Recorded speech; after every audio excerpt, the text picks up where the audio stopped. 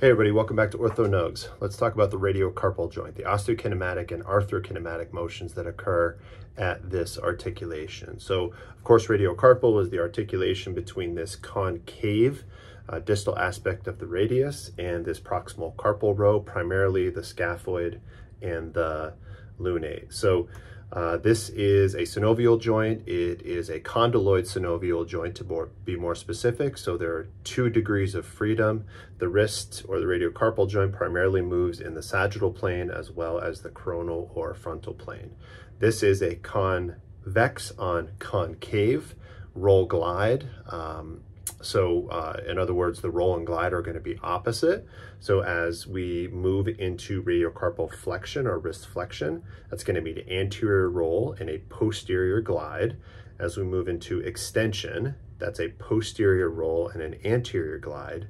With radial deviation, that will be a radial or lateral roll and a medial or ulnar glide.